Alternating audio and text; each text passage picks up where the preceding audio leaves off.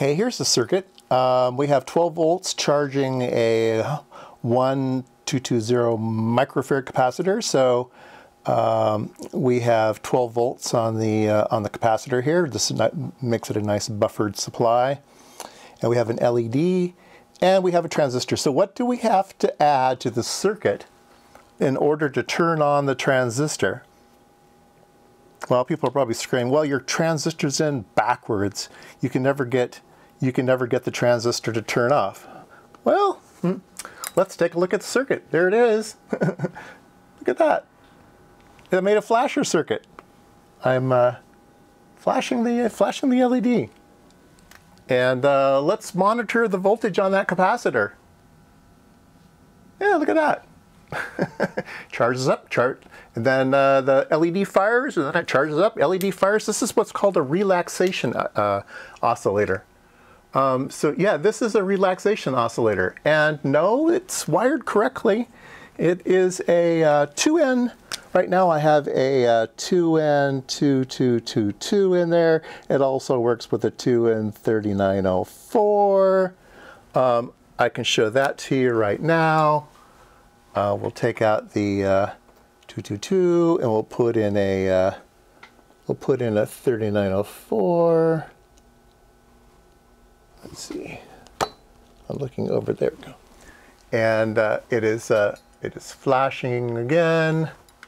And uh, yeah, we're getting an oscillation. So, um, what does this thing do? Well, it abuses this transistor badly. Um, so the transistor has breakdown in the reverse direction. And uh, this transistor will break down at a certain voltage, and when it breaks, it kind of acts as a Zener diode. And when it breaks down, the current will flow through this thing, and this LED will start conducting, and it'll discharge this capacitor. Once the capacitor is discharged to a low enough voltage, the LED won't be on any longer, and you'll be below the uh, Zener uh, threshold of this uh, of this transistor and it will turn off and then it'll have to charge back up again then it goes back down then charge back up again and you can see that the uh, charging up takes time because it's a 1k resistor into 220 microfarads but the discharge time is very very fast um, because the LED is firing and the Zener diode is firing immediately um, now what I found interesting though is go back over to here. Um, I showed you a 2222 and I showed you a 3904. And um, let's go ahead and change this out to another 3904. Okay. And you can see that he's working he's working just fine. Now let me change it out to another 3904 and it's on all the time, just a little bit. It's not, it's not oscillating, okay? We can monitor that voltage again. Let's see, let's move things around here. And uh, yeah, it's just a, it's just a, a DC voltage, okay? Just, it's just a DC voltage. So why are some 3904s happy and other 3904s are not happy, right? So I get to use my curve tracer again. Let's go take a look. All right, um, so I have the transistor in there and I have the transistor in backwards. So it's, it's, it's like I'm, I'm, I'm, I've, I'm, I'm going to sweep a diode. Okay, so I'm going in the forward direction, but I have the emitter tied uh, to the high and the collector tied to ground. And so as we come along here, you'll see that there's a breakdown, all right? So where does that breakdown occur? At 5, 6, 7, 8 volts. So, so this, this LED uh, transistor uh, breaks down at 8 volts, okay? This is a 2N2222. And uh, so that's making it look like a Zener, okay? It's got a funny little knee down there at the bottom. It's got a funny little crook. If we continue to go up in current just a little bit, you can see that it breaks over. So I believe that this is the, we're seeing the avalanche, okay? So these devices can avalanche. A lot of times they're used in uh, uh, noise um, generation circuits and stuff.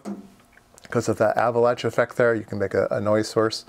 Um, so anyway, I think that what we're seeing there is the avalanche. And I think the avalanche is important in this particular circuit.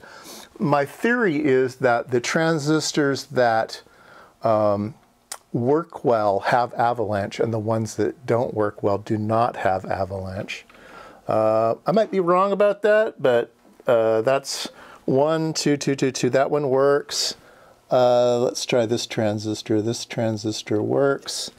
He goes up, breaks down in avalanches. Uh, let me find a, uh, a 3904 that works. Okay, that one doesn't work. We'll save him.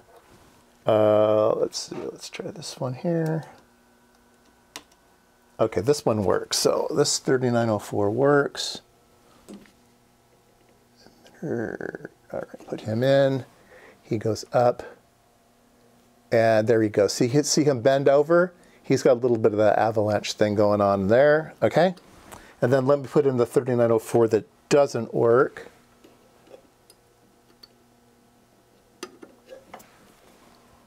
And this one goes straight up, okay? It doesn't do the avalanche thing. So I think the avalanche is key to this, uh, to this circuit working.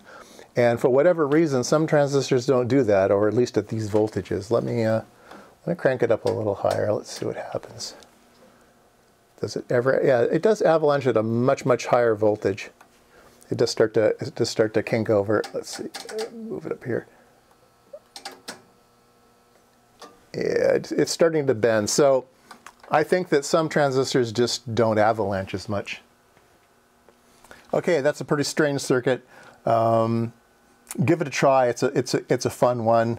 Uh, you need to make sure you have enough voltage here to break to break it down. If this if this voltage goes too low, then you don't you don't cross that 8 volt threshold that these guys need. So make sure your your voltage is high enough. Um, but yeah, there you go. Uh, one transistor relaxation oscillator.